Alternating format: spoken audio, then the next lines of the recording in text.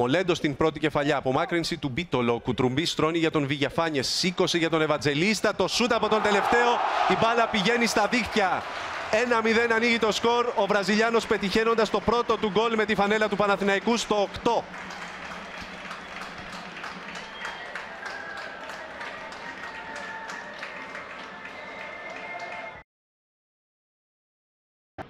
Χαμηλά η εκτέλεση. Προσπάθησε να αφήσει ο Ευανζελίστα ο Κουτρουμπή. Ο Βραζιλιάνος στο δεύτερο δοκάρι. Ο Μολέδο η κεφαλιά. Πέρασε η μπάλα γκολ. Για του πρέπει να πει ένα μεγάλο ευχαριστώ ο Μολέδο στο συμπατριώτη του. Στο Σουηδό απέναντι αναπτύσσεται εξαιρετικά ο Παναθηναϊκός με τον Ευανζελίστα να υποδέχεται με το αριστερό και να ψάχνει τον τρόπο να μπει στην περιοχή. Είναι και ο Βιαφάνιας εκεί. Ο Ευανζελίστα πέφτει πέναλτι. Στο 8 ο Παναθηναϊκός έχει την ευκαιρία να ανοίξει το σκορ μετά την προσπάθεια του Ευαντζελίστα. Ο Ευαντζελίστα πέφτει από την προσπάθεια του Ψηλιανίδη.